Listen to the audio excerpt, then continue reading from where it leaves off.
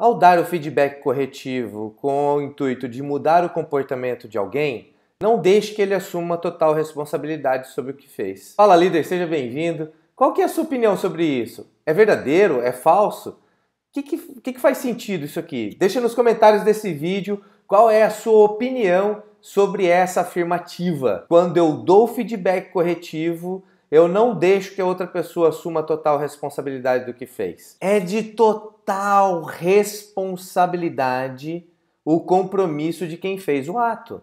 Tanto que quando você vai falar sobre isso, você vai falar exatamente sobre o comportamento você vai descrever exatamente o que essa pessoa fez. O que eu tenho visto ultimamente é que a maioria das pessoas não querem assumir a responsabilidade e muitos líderes não estão permitindo que os seus liderados, que alguém, que as pessoas da sua equipe assumam a responsabilidade. Porque com um certo protecionismo, com medo de perder ou talvez com medo da pessoa ficar brava ou talvez com medo da pessoa confundir pessoal com comportamento.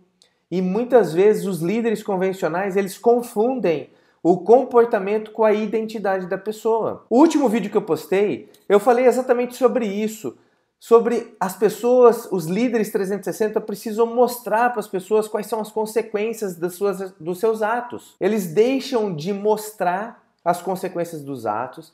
As pessoas que fazem não têm consciência da gravidade e não são treinadas para que isso não se repita mais. Se você tem processos que resolvem alguns problemas, você precisa mostrar para o seu colaborador isso. Você precisa mostrar, deixar ele ciente do que acontece quando ele tem essa atitude. Grandes empresas têm processos muito bem detalhados. O que, que eu faço se eu estou numa pequena, numa média corporação? Eu preciso ser o mais claro possível nos meus feedbacks e mostrar para a pessoa o que está acontecendo. Até mesmo na hora da contratação eu preciso ser claro e mostrar para ele como aqui a empresa funciona, o que eu preciso fazer, como eu, líder 360, atuo. Para deixar isso mais claro, eu quero elucidar isso para você com o seguinte: quando eu tinha loja de material de construção, nós comprávamos de um atacado, um distribuidor, louça sanitária, lavatório, coluna, a, a, vaso sanitário. E sabe qual era a regra lá? Não tinha nenhum procedimento escrito, mas a regra era o seguinte: que todo motorista que saía com louça e danificasse alguma louça na entrega, ele pagaria por aquela louça.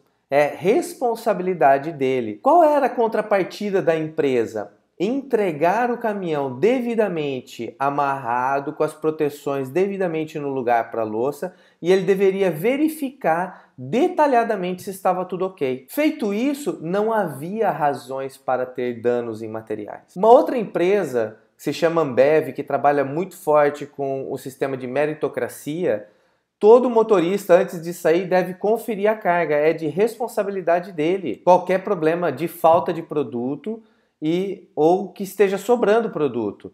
Por isso as pessoas quando elas têm clareza do que tem que fazer, elas sabem qual é o papel dela dentro da organização. Líder 360, você é coautor de desenvolver pessoas. Eu estou montando uma, uma avaliação 360 nesse exato momento inclusive já está aqui envelopada e lacrada para as pessoas que vão responder. E dentro dessa avaliação 360 tem uma pergunta assim: a pessoa avaliada, ela desenvolve, ela ensina, ela multiplica o seu conhecimento com os demais colaboradores? E aí ela vai ter uma avaliação 360 disso tudo.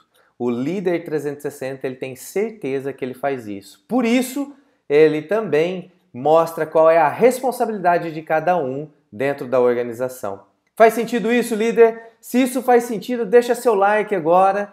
Se você não respondeu ainda, responda. Qual é a sua opinião? Será que o colaborador precisa assumir total responsabilidade sobre seus atos? Ou o líder precisa assumir a responsabilidade no lugar dele? Manda sua opinião nos comentários desse vídeo, para mim é muito importante. Lembra de compartilhar esse conteúdo.